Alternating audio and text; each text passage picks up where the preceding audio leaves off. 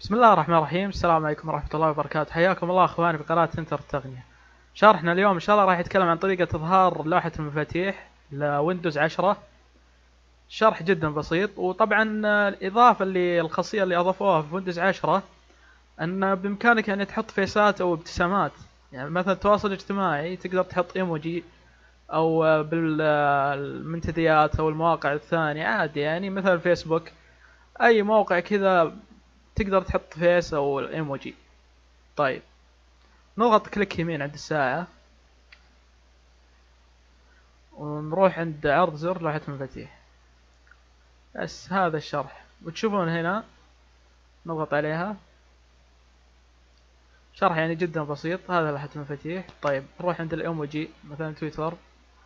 نضغط على الفيسات. شو زي ما أنتم شايفين الإيموجي. نضغط هنا. نضغط هنا. كلها ظاهرة عندكم هنا وبس أتمنى اني فدتكم لا تنسون دعمكم ب like subscribe والسلام عليكم.